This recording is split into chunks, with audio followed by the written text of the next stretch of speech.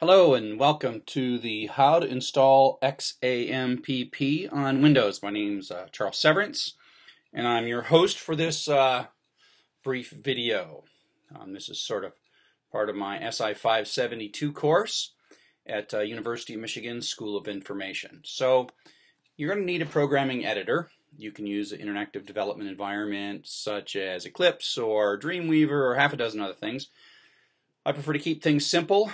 I use Notepad++.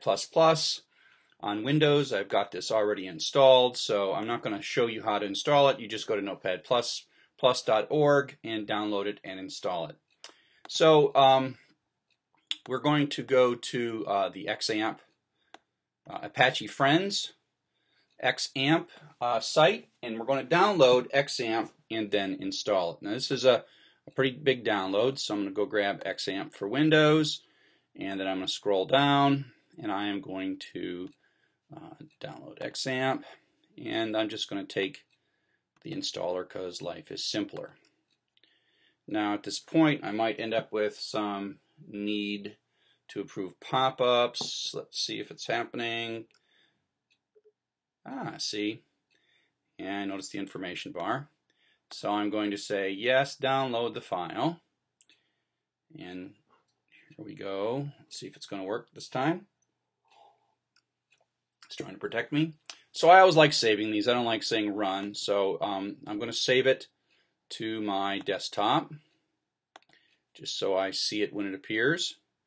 And I'll just say save. And so this is going to take a little while. Okay, so uh, go get yourself a cup of coffee and uh, come back when it's done downloading.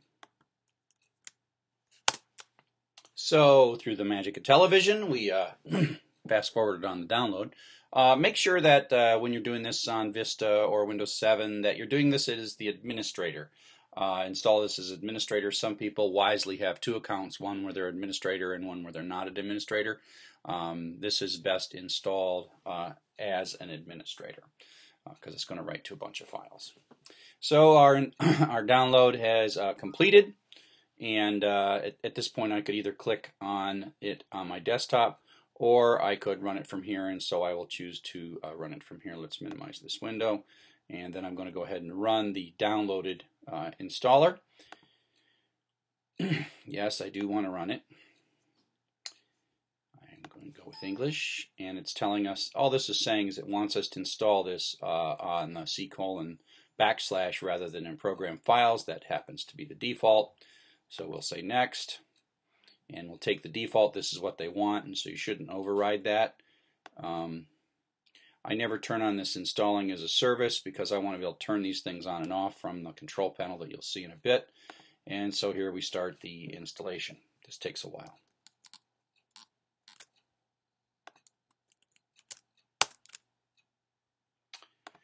Again, through the magic of television, we fast forwarded to it all being finished. Um, and so we're going to go ahead and start the XAMPP control panel. And here we are. Now you'll notice it sort of lives in our system tray down here. And uh, we can start uh, Apache, which is the web server, and uh, MySQL. So I'm going to click on Start.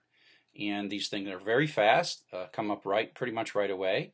Um, uh, this, in this case, I've been, it's the first time I've done this, so I'm going to have to unblock it going to have to let this application talk to port 80. That's what this is saying. So I unblock it. Now I'm going to start MySQL, and it's going to be uh, the Apache's on uh, unblock port 888 as well. And so Apache started on port 80 and MySQL started on port 3306.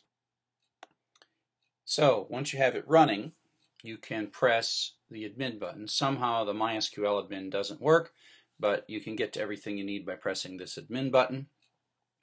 And so you go to localhost slash xampp. And so here we have a, uh, a menu of all the kinds of things that you're going to use. So let's do a couple of different things here. Um, uh, welcome. Let's go to uh, PHP info. This is an important thing that tells you a lot about uh, what's installed in your PHP environment. Um, this XAMPP has most of the good stuff that we need, and so that's really good. part of the reason we're using XAMPP is so that all this stuff is um, is already there. Um, and so PHP info is a good thing. Um, probably the thing you'll spend the most time is in this tool called uh, PHP MyAdmin. And this is sort of your local uh, connection to your MySQL database. And so this is a user interface that's showing that we have a, a series of databases in here. Uh, my font's a little zoomed in. It looks a lot better if you have a little larger screen. I'm keeping my screen size small. And so I'll just, first thing I'll do is let's go ahead and create a database. Um, I'm in the database. I'll create a table, a database called Chuck. Um, it's pretty much set right here. I'll create a database. I'll say create. And so if I go back home here, you'll see that among all the databases, um, I now have one called Chuck.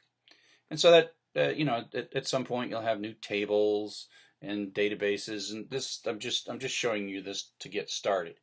And so I'm going to go back to a localhost here to get back to the XAMPP console.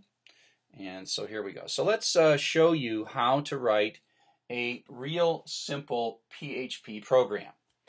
And so I'm going to start Notepad and um, I'm going to create a simple PHP file. Uh, I'll just start with an HTML file.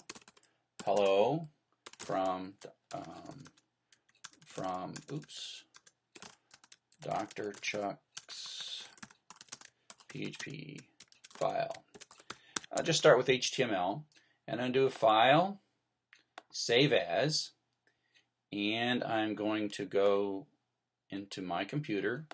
Usually don't want to be hanging out in uh, your C drive, but I'm going into the XAMPP folder. Then I am going into uh, htdocs, and so I have some folders in here. So I could put it right here. The, this is sort of the all the stuff, but I want to keep this separate, so I'm going to make a new folder, and I'm going to call my new folder SI572, and then I am in the SI572. If you sort of look at the, I'm in C XAMPP htdocs SI572, so that's where I'm at. And I'm going to call this file index.php, and then I'm going to save it. And of course, it sort of does some syntax highlighting because it now knows what's going on. Now, I haven't written any PHP because PHP really is an extension of HTML. We'll just start with some flat HTML. And so I'm now going to navigate to http colon slash slash localhost slash si572. That was the name of the folder I created. And um, here we go. And so it knows that the index.php is the default file to serve in the folder. We would get the same thing if we typed index.php um, with, with the entire file. It would say the same thing. So now let's make a change. And so now we'll actually add a paragraph and then we'll switch into PHP with the uh, less than question mark PHP and then start writing some PHP. Hi there backslash n. So we're going to put a hi there in a new line, and then we're going to switch back out of PHP and go back into HTML. And so you'll notice that Notepad uh, nicely um, syntax colors for us. And so here we are. I'll resave that, and I'll come over here, and I'll just hit refresh. And so now you see the H1, if I do a quick view source here, um, if I do a quick view source, page source, you can see that these two lines are coming straight from the HTML and then the echo, the print out of the PHP is what's here. So it interpreted this part and ran the program that was PHP. So let's just make a uh, another little uh, bit of PHP. Um, I'll put a period here and I will say some more PHP. Answer equals 6 times uh, 6 times 7 and then I will say echo the answer is dollar answer so we're doing some substitution here um, comma what again was the question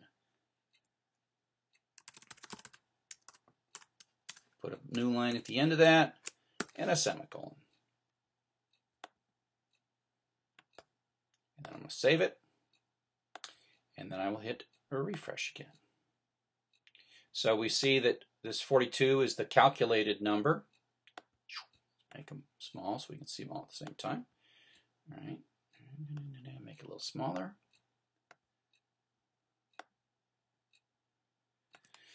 So hi there, the answer is 42. What again was the question? So you see that I've done a calculation. Variable signs, of course, start with a dollar sign. And inside uh, double quoted strings, uh, variables get substituted just by sticking the variable name in. Um, single quoted strings uh, don't do that. And so here we are. This this again is um, if I put some another paragraph here. Oops, that should be a slash p. Uh, here is another paragraph slash p. And then I save that. Oops, no, no, no. I save that. And then I hit refresh again. You see that um, I am successfully going, here's some HTML, here's some PHP, here's the HTML, here's the PHP, and here's the HTML again. And again, if I just do a view source, we just see that the um, it's all interleaved together, right? There's no no evidence which came from PHP or which came from HTML. So, uh, and then I'll close all. I'll close this. I'll close this, and then I will stop Apache, and then I will stop MySQL. Now one thing, uh, just to show you real quick, is if I hit this close button, it doesn't really close. It's here. So if you click this XAMPP control panel, it gives you a scary message, but really it's not so scary as long as you remember to come down in your system tray and start it back up. And so we can start and stop these things as often as we like. Okay, so uh, I guess that's it.